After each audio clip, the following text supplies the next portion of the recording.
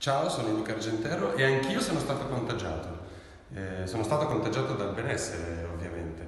Cosa intendo io per benessere? Beh, sicuramente una, una sana alimentazione, una vita eh, sportiva, che include dell'attività fisica eh, nella vita di tutti i giorni, ma noi di un caffè abbiamo un'ulteriore idea di benessere. Benessere è cercare di far star bene anche gli altri, o almeno provarci. Eh, come facciamo noi? Noi ci siamo inventati uncaffè.org, eh, è una piattaforma digitale dove diamo a tutti la possibilità di offrire un caffè a qualcuno che ne ha bisogno.